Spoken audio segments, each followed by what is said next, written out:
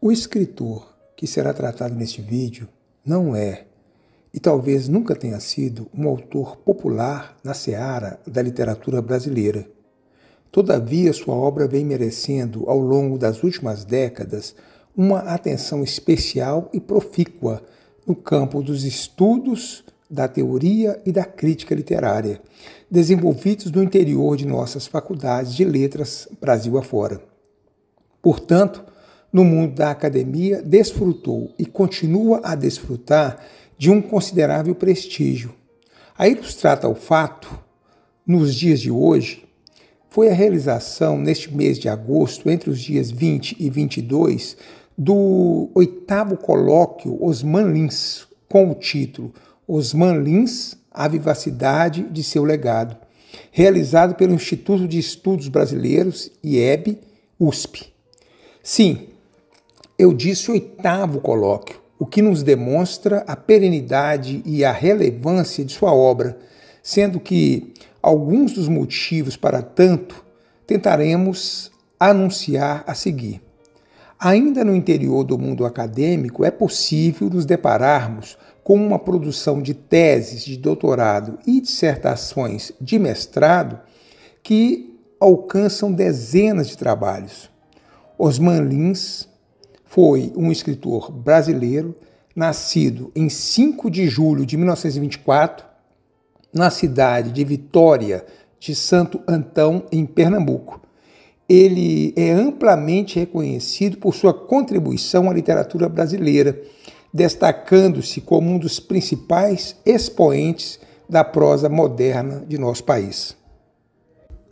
Lins cresceu em um ambiente modesto, e começou a trabalhar desde cedo para ajudar no sustento da família. Sua formação acadêmica inclui o curso de Ciências Contábeis na Faculdade de Ciências Econômicas da Universidade Federal de Pernambuco, onde se formou em 1946. Embora tenha trabalhado como contador e professor, sua verdadeira paixão era a literatura e ele começou a dedicar-se à escrita ainda jovem. Seu primeiro romance, O Visitante, foi publicado em 1955. Recebeu boa aceitação da crítica. No entanto, foi com o romance A Valovara, de 1973, que Osman Lins alcançou uma maior notoriedade. Considerado uma obra-prima da literatura brasileira, A Valovara é conhecido por sua estrutura narrativa inovadora e complexa que mistura diferentes tempos e espaços, explorando temas como o amor, a morte e a busca pelo sentido da vida.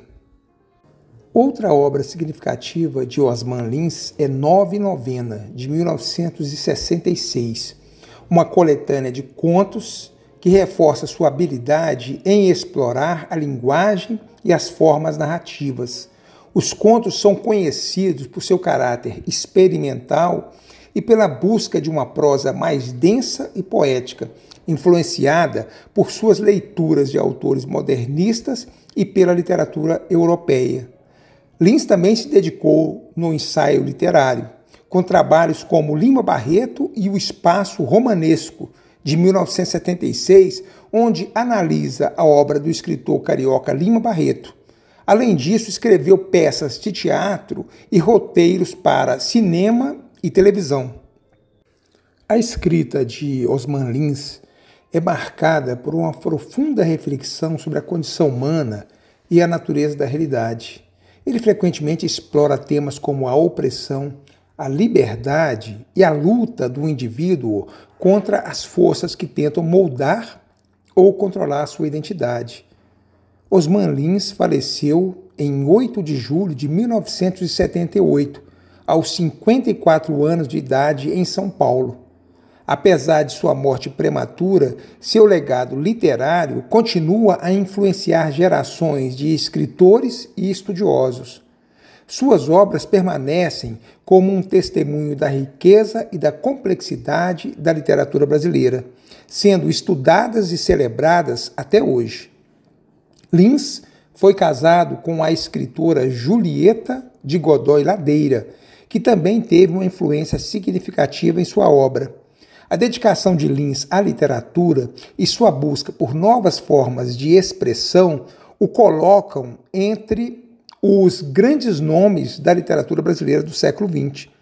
Osman Lins foi um escritor profundamente influenciado por várias correntes literárias e por autores de diferentes tradições, brasileiros e estrangeiros.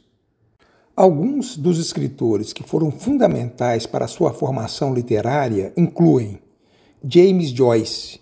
Joyce, particularmente através de sua obra Ulisses e Finax Weig, foi uma das influências mais importantes para Lins, especialmente na exploração de estruturas narrativas complexas e experimentais, a utilização de técnicas como o fluxo de consciência, a fragmentação narrativa e a intertextualidade por Joyce ressoam na obra de Lins, que também buscou inovar e expandir os limites da forma literária.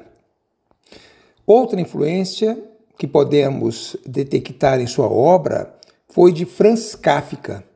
Kafka é evidente na obra de Lins, especialmente na forma como ambos exploram temas como a opressão, a burocracia e a alienação. Kafka, com sua abordagem do absurdo e sua capacidade de captar a sensação de impotência diante de forças incompreensíveis, teve um impacto profundo em Lins, que frequentemente aborda temas de controle e resistência em suas próprias obras. Dentre os brasileiros, Guimarães Rosa, João Guimarães Rosa, foi um dos grandes inovadores da linguagem e da narrativa na literatura brasileira, como todos sabemos. Foi igualmente uma influência significativa para Lins. A exploração de regionalismos, a complexidade linguística e a busca de uma prosa poética eh, em Grande Sertão Veredas ressoam em Lins, que também se dedicou a explorar as possibilidades da língua portuguesa de maneira inovadora. Outra grande influência na obra de Lins foi a sua amiga Clarice Lispector, com sua exploração da interioridade e do mistério da existência humana, especialmente a sua abordagem da subjetividade e a busca por uma linguagem que pudesse captar a essência dos sentimentos e das experiências humanas, Ambos os autores compartilham uma preocupação com o indizível e com as profundezas do inconsciente. Um autor sul-americano importantíssimo para a obra de Lins, que certamente foi por ele lido com muito cuidado, é o argentino Jorge Luiz Borges. Borges, com sua paixão por labirintos, espelhos e a interseção entre a ficção e a realidade, foi uma influência relevante para Lins. A forma como o Borges joga com as convenções literárias e desafia as noções tradicionais de narrativa e tempo pode ser vista refletida na complexidade estrutural da, de obras de eh, Osman Lins como a Valovara, uma outra influência é, importante na obra de Lins é aquela que veio do escritor francês Marcel Proust, especialmente da sua obra Em Busca do Tempo Perdido, que influenciou muito Lins em sua exploração da memória, do tempo e da subjetividade, a preocupação com a reconstrução do passado e a investigação da consciência individual, características centrais em Proust, são temas que Lins também explora profundamente. Por fim, um autor que me é particularmente muito apreciado, que é William Faulkner, né, o grande representante da literatura estadunidense. William Faulkner, com sua estrutura narrativa fragmentada e seu foco na psique dos personagens, também foi uma influência marcante na obra de Lins. A forma como Faulkner constrói narrativas que desafiam a linearidade temporal e exploram a complexidade das relações humanas e da memória encontra eco nas obras de Osman Lins, em particular em A Valovara. Esses escritores, entre outros, ajudaram a moldar a visão literária de Osman Lins, fornecendo-lhe as ferramentas e a inspiração para criar uma obra profundamente original e inovadora na literatura brasileira. Osman Lins, além de ser um escritor de grande talento, também manteve relações significativas com outros escritores e intelectuais de sua época. Suas amizades literárias desempenharam um papel importante em sua vida e carreira, proporcionando trocas intelectuais e um ambiente de apoio mútuo em que em um período em que a literatura brasileira passava por intensas transformações. Aqui estão algumas amizades literárias mais notáveis de Lins. Novamente a Clarice Spector, né? Ela foi uma das figuras mais próximas de Valência. Ambos compartilharam uma visão literária que explorava a profundidade da condição humana, a subjetividade e o mistério da existência, como já disse. A amizade entre eles era marcada por uma admiração mútua pelo trabalho um do outro. Clarice e Osman compartilhavam preocupações estéticas e existenciais, e seus encontros e trocas de correspondências foram fundamentais para ambos, especialmente durante os anos da repressão política no Brasil. Também João Guimarães Rosa, embora de uma geração anterior, foi uma influência importante para os Lins e alguém com quem ele mantinha uma relação de respeito e admiração. Embora não sejam é, conhecidos por amizade íntima, o trabalho de Lins foi certamente impactado pela revolução linguística e narrativa promovida por Rosa, como já dissemos acima. E há registros de que eles se encontraram em algumas ocasiões, trocando ideias sobre a literatura brasileira. Antônio Cândido, um dos mais importantes críticos literários do Brasil, foi um admirador e defensor da obra de Osman Lins. Embora a relação deles fosse mais profissional, houve uma profunda afinidade intelectual. Cândido reconhecia a importância da obra de Lins no cenário literário brasileiro e frequentemente destacava a originalidade e a profundidade de sua escrita. Néda Pinhon, uma das grandes escritoras brasileiras, também manteve uma relação de amizade e respeito com Osman Lins. Ambos compartilhavam o interesse pela experimentação narrativa e pela exploração da identidade brasileira através da literatura. A troca de ideias entre eles ajudou a moldar suas respectivas abordagens à escrita e ambos influenciaram mutuamente as suas respectivas trajetórias literárias. Haroldo de Campos, o poeta concretista e teórico literário, literário era um contemporâneo de Lins, com quem ele compartilhou discussões sobre a forma e a linguagem na literatura. Embora pertencentes a tradições literárias diferentes, Lins, mais ligado à prosa narrativa, e Haroldo de Campos ao concretismo e à poesia experimental, ambos estavam profundamente comprometidos com a inovação formal e a ruptura com as convenções literárias tradicionais. A amizade entre eles refletia uma troca de ideias sobre a função da linguagem e da forma da literatura. Lígia Fagundes Teles e Osman Lins, inclusive tem uma foto que eu deixei aí no vídeo de ambos, né? Eram colegas de geração e compartilharam uma amizade marcada pelo respeito mútuo e pela admiração profissional. Ambos exploravam temas psicológicos e sociais em suas obras. E essa afinidade intelectual os aproximou ao longo de suas carreiras. Lígia como Osman, enfrentou o contexto repressivo da ditadura militar no Brasil e ambos se apoiaram mutuamente em suas resistências pessoais e literárias. Por fim, Érico Veríssimo, um dos grandes nomes da literatura brasileira do século XX, também era amigo e admirador de Osman Lins. Veríssimo era conhecido por sua generosidade com escritores mais jovens e por seu interesse em novas vozes da literatura brasileira. A amizade entre eles foi marcada por conversas e correspondências sobre a literatura, a política e a situação cultural do Brasil em uma época de profundas transformações. As amizades literárias de Osman Lins foram cruciais não apenas para o desenvolvimento de sua obra, mas também para a construção de um ambiente intelectual de apoio e colaboração em uma época difícil para a literatura brasileira, marcada pela censura e repressão da ditadura militar. Essas relações proporcionaram a Lins um espaço de troca e diálogo, onde ele pôde discutir ideias, receber feedbacks e compartilhar suas preocupações e descobertas literárias.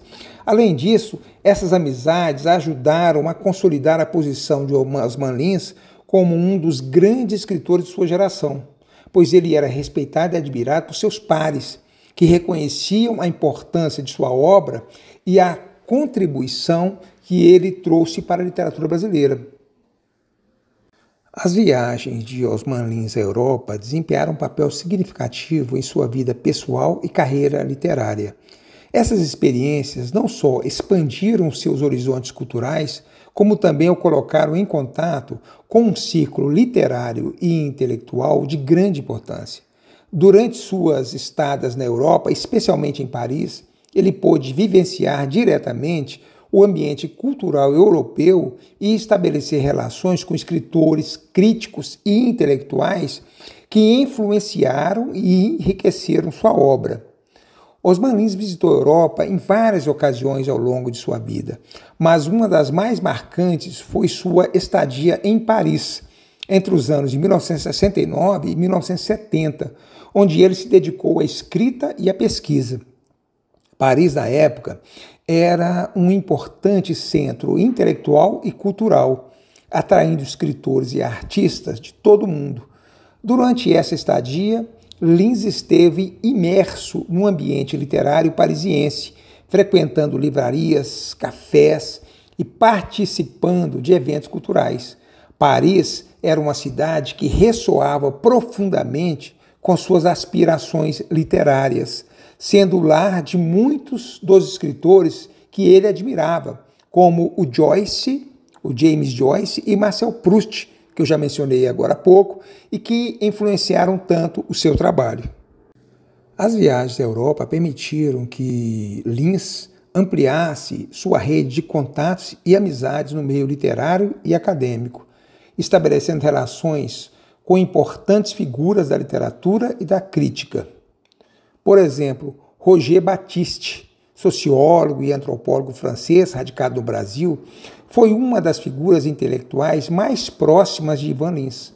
Embora Batiste já estivesse no Brasil há algum tempo, o encontro de Lins com ele em Paris reforçou sua amizade. Batiste, com seu profundo conhecimento da cultura brasileira e sua perspectiva internacional, foi uma influência intelectual importante para Lins ajudando-o a refletir sobre a relação entre a cultura brasileira e o contexto europeu.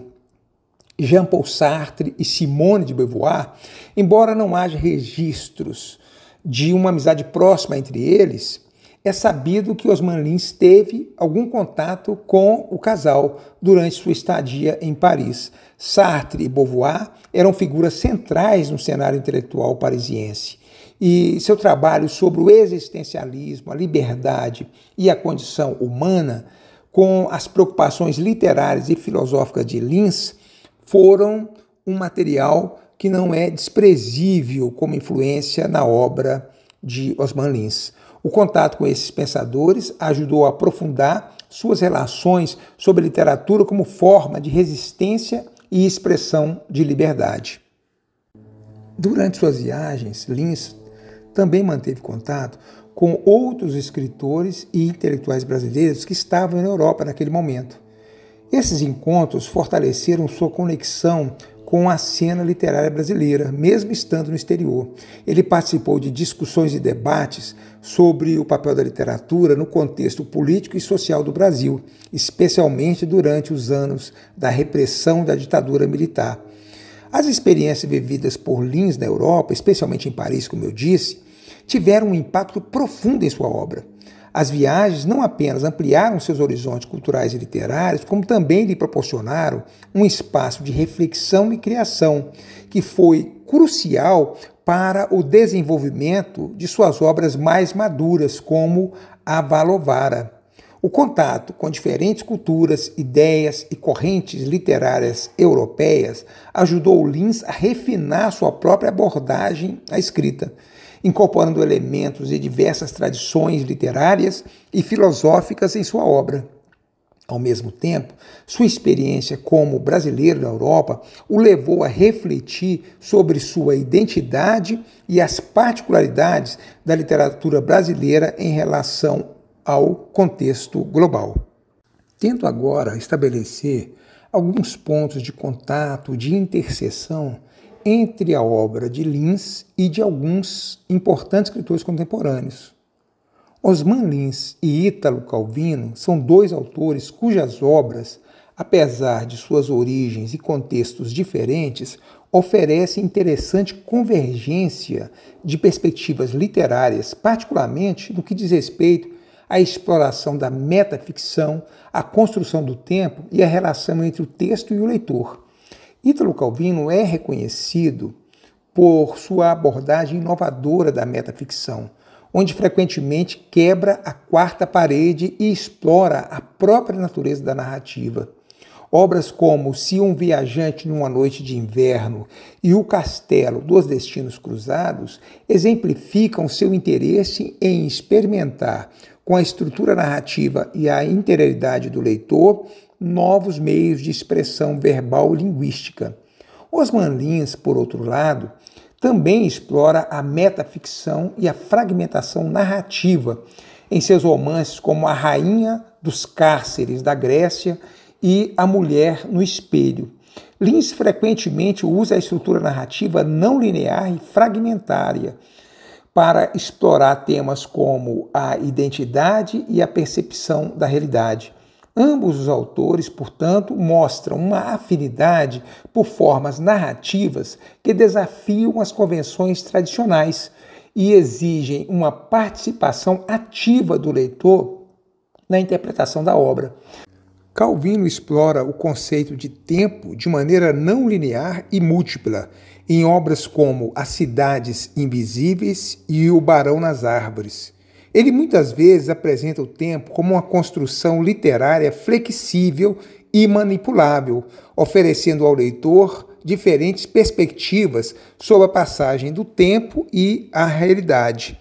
Osman Lins também joga com a ideia de tempo em suas obras, muitas vezes utilizando uma abordagem cíclica e espiralada. Em A Rainha dos Cárceres da Grécia, por exemplo, a narrativa se desenrola de forma que o tempo parece se desdobrar sobre si mesmo, refletindo as complexidades da memória e da experiência. Calvino frequentemente considera o papel do leitor como ativo e colaborativo na construção do significado da obra. Seus textos muitas vezes são desenhados para envolver o leitor em um jogo de construção de sentido e interpretação. Lins também engaja o leitor de maneira semelhante, especialmente em suas obras mais experimentais. Ele desafia o leitor a interagir com a narrativa de maneiras que vão além da leitura passiva, exigindo uma reflexão ativa sobre os temas e as estruturas apresentadas. Outro autor com o qual é possível traçarmos uma convergência com a obra de Osman Lins é o escritor estadunidense William Faulkner, principalmente no que diz respeito ao uso do tempo, à exploração da complexidade psicológica dos personagens e à estrutura narrativa. Faulkner é conhecido por sua abordagem inovadora do tempo.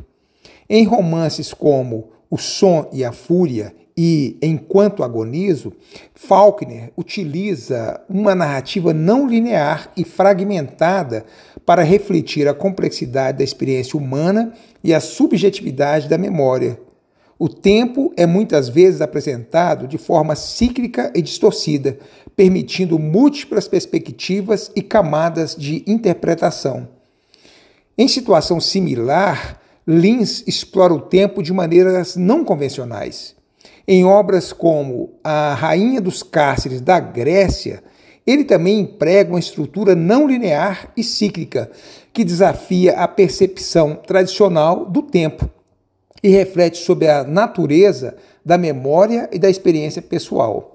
Faulkner é notoriamente conhecido por sua profunda exploração da psicologia de seus personagens, frequentemente apresentando seus conflitos internos e complexidades emocionais de maneira detalhada e multifacetada.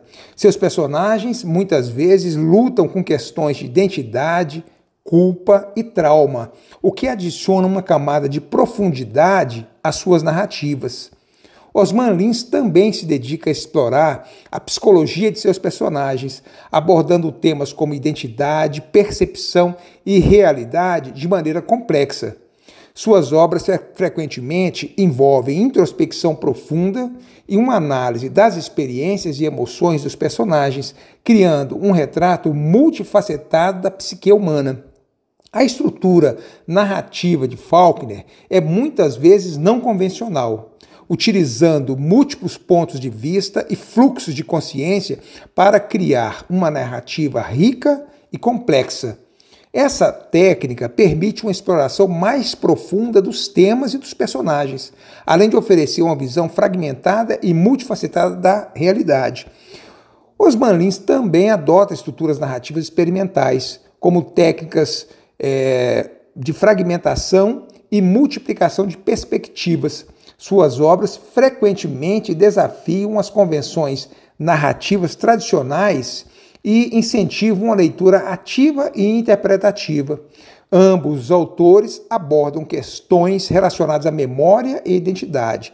Faulkner explora o passado que influencia o presente e como as identidades são moldadas por experiências históricas e pessoais. Lins, por sua vez, investiga como a memória e a percepção moldam a identidade dos personagens e como o passado interage com o presente de maneiras complexas. Fiquei pensando também se seria possível estabelecermos um paralelo entre as obras da escritora italiana Elsa Morante, da qual me ocupei agora recentemente, com a obra de Osman Lins. E pensei que é possível estabelecer alguns pontos realmente de contato entre as duas obras. Ambos os autores têm interesses e abordagens semelhantes em suas explorações literárias, especialmente no que diz respeito à narrativa, à complexidade psicológica e à representação da experiência humana. Elza Morante é conhecida por suas inovações na estrutura eh, narrativa. Em A História, ela adota uma abordagem que mistura o realismo com elementos de ficção e experimentação narrativa. A narrativa é entrelaçada com a história política e social da Itália, mas também explora a experiência pessoal e subjetiva dos personagens. Osman Lins, por sua vez, também é um autor que experimenta com a estrutura narrativa, em obras como A Rainha dos Cárceres da Grécia, Lins utiliza uma narrativa não linear e fragmentada para refletir a complexidade da experiência humana e da memória. Sua abordagem frequentemente desafia as convenções tradicionais da narrativa, semelhante à forma como Morante faz em seus trabalhos. Morante explora profundamente a psicologia e a vida emocional de seus personagens. Em A História, ela relata a vida de uma mulher durante a Segunda Guerra Mundial, com uma riqueza de detalhes emocionais e uma análise profunda da psicologia do, dos personagens, abordando temas como sofrimento, resistência e esperança. Lins também mergulha na psicologia de seus personagens, explorando temas como identidade, percepção e realidade. Suas obras frequentemente abordam a complexidade emocional dos personagens e suas experiências interiores, refletindo uma preocupação semelhante com a profundidade psicológica. Ambos os autores tratam de temas relacionados à identidade e à existência humana. Morante frequentemente explora como as circunstâncias históricas e sociais moldam a vida e a identidade de seus personagens, refletindo sobre o indivíduo que é impactado por forças externas. Lins aborda questões semelhantes, mas com uma abordagem mais focada na experiência pessoal e na percepção individual. Seus personagens frequentemente enfrentam crises de identidade e são conformados com a complexidade de suas próprias existências. Explorando como a percepção e a memória influenciam a identidade. Morante é amplamente influenciada pelo contexto histórico e social italiano, especialmente em a história que se passa, como eu já disse, é, durante e após a Segunda Guerra Mundial. Ela utiliza a narrativa para refletir sobre as condições sociais e políticas da sua época. Lins, menos focado em um contexto histórico específico, também explora como o contexto social e cultural influenciam a vida dos personagens. Suas obras frequentemente refletem sobre questões universais de identidade e existência, muitas vezes integrando elementos do contexto social brasileiro. Osman Lins e Helena Garro, provenientes de contextos culturais e históricos diferentes, Lins do Brasil e Garro do México, compartilham algumas semelhanças notáveis em suas obras, especialmente no que diz respeito ao uso da experimentação narrativa, à crítica social e ao tratamento das relações entre memória, história e opressão. Ambos os autores são conhecidos por sua experimentação formal e narrativa. Osman Lins, em obras como A Valovara, de 1973, utiliza estruturas complexas e inovadoras, como o palíndromo e o labirinto, para explorar temas profundos. Helena Garro, em Los Recuerdos del Porvenir, de 1963, também utiliza uma narrativa não linear e elementos de realismo mágico para tecer uma história que mistura memória e ficção. Essa abordagem permite a ambos os autores explorar a subjetividade do tempo e da história, criando um universo literário onde as fronteiras entre realidade e fantasia são fluidas. Tanto Lins como Garro utilizam suas obras para criticar as estruturas de poder e as injustiças sociais. Lins, em A Rainha dos Cárceres da Grécia, de 1976, faz uma crítica velada ao regime militar brasileiro, abordando temas como a censura e a repressão.